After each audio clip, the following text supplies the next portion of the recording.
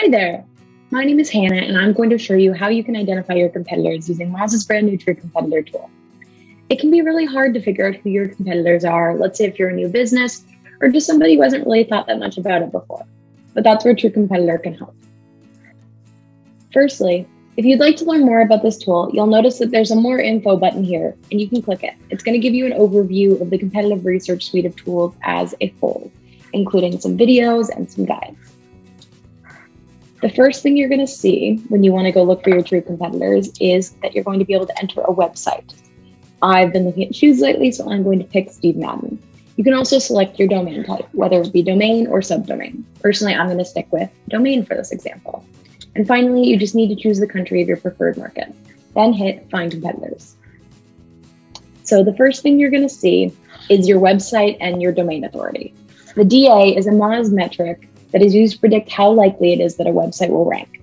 It's calculated by evaluating multiple factors, including linking root domains and the total number of links into a single DA score. Domain authority scores range from 1 to 100, with higher scores corresponding to a greater likelihood of ranking. So from there, we'll scroll down and you'll see that Moz will generate a list of up to 25 competitors, listing them from most competitive to least competitive.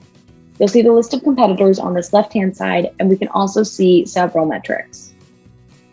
We can see the DA for each competitor, as well as two new metrics, overlap and rivalry. The overlap metric refers to the percentage of keywords that we analyze that you share with a given competitor.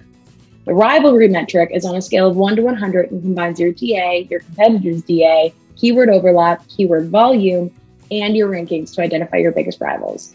You can filter this list by each of the metrics that we see here at the top to analyze further.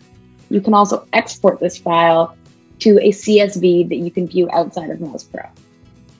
I hope this video was helpful in you finding out for once and for all who your true competitors are.